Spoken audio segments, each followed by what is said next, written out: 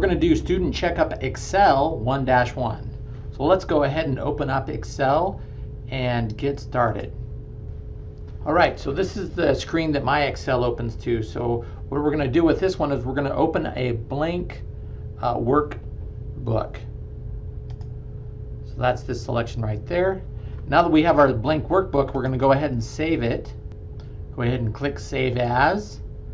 That'll allow us to then browse.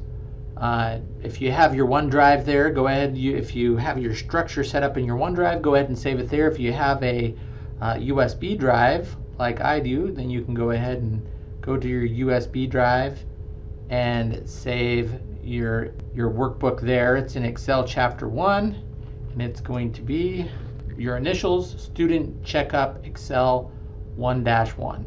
Okay, so now what we're going to do is we're going to uh, enter some data, right? So we went ahead and saved it. Now I'm going to start in cell A1, which is uh, where is already selected, right? You can tell it's selected. It's got that green outline.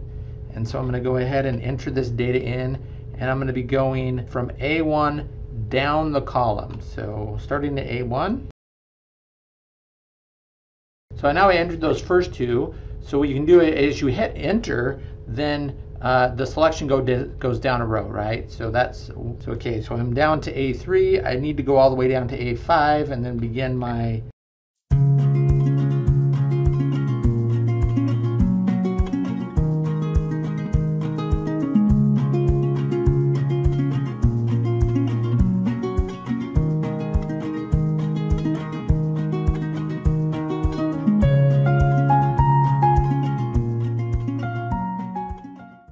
we're going to go back up here. We're going to go to B4 right there, and we're going to type in Monday. And then we have a bunch of numbers to type in here. So we can type in all these numbers here.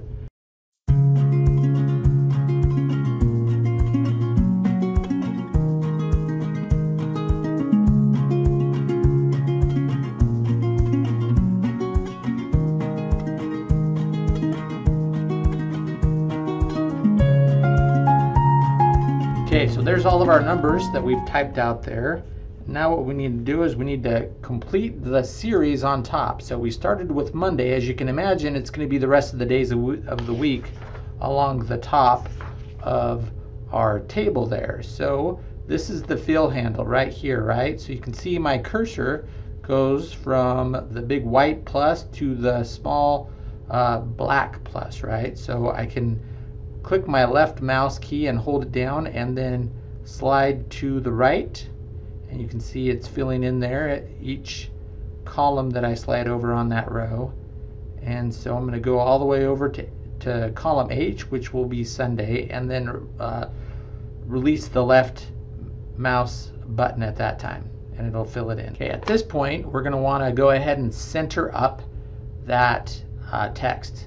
So all the days of the week are going to be centered. That's going to be up here in the home tab, right? So we've got that centered there. So we also want to put at the very end here, we're, going to want to put our uh, total right there, which will be centered as well. And it actually says in the text to put totals with an S and, and in the example it doesn't have the plural, but so uh, do what you feel is right there at that point. I'm not going to mark you off if you don't get the S on that one. So now we're going to go uh, to row 4 and it's going to be right here with the days of the week.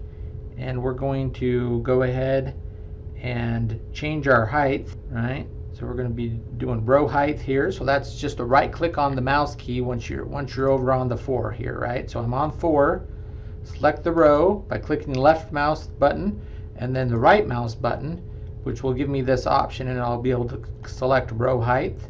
And I'm right here at 4.4 or 14.4 so I'm going to change that to 19.5 and then hit enter. I'm going to auto size uh, column A right here.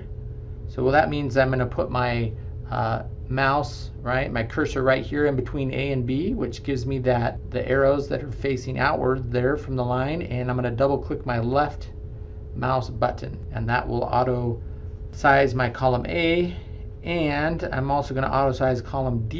You can see right here, see Wednesday is kind of scooched in there. So I'm going to go over here and I'm going to do the same thing to D. So I'm going to go to the right side of D between D and E, I'm gonna, I'm gonna double click right here and it'll uh, auto size that column. Okay, now I'm going to do some merge and centers. So we see here that our title is over to the left. So we really want it centered up into here, right? So what I'm going to do is I'm going to go ahead and click on A, right? This is A1. I'm going to hold my mouse left mouse button down and I'm going to go ahead and uh, navigate all the way over to I here, column I in that first row. And then I can uh, let up on my left mouse button and then I'm going to go up here and find, see this right here, up in the alignment uh, grouping on the home page, merge and center. So I'm going to go ahead and click on that, and that's going to merge and center my title. I'm going to do the same thing to the dates down below, all the way over to I and merge and center. And now what I'm going to do, so you can go ahead and close, uh, save and close your workbook. Uh, I have auto save, right? Right now is off. I can go ahead and just hit this save button here or hit control S and it's going to save my workbook and I can go ahead and uh, upload this workbook up into the uh, Canvas assignment link for uh, our student checkup Excel 1-1. Have a good day.